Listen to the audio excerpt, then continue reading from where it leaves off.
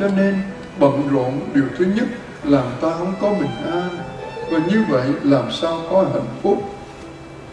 Thứ hai, bận rộn làm cho cái cách hành xử của mình với người chung quanh, đặc biệt là với những người yêu thương mình và mình yêu thương, trở nên rất hồ đồ, rất quyết đoán và rất vụng dại.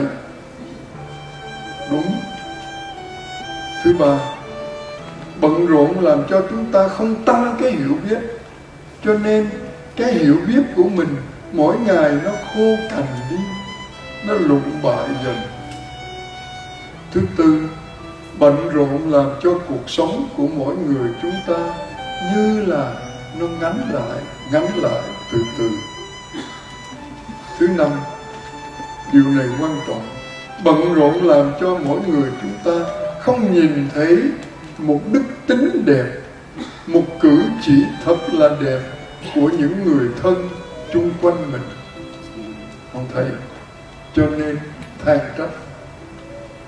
Và cuối cùng, điều thứ sáu, bận rộn khiến ta đi trên đường, y như bị ma đuổi vậy. Quỷ rượt hay ma đuổi? Đời sống bận rộn là một đời sống bất hạnh nhé. Chắc chắn mà con người ai ai cũng tìm đủ mọi lý do để bận rộn.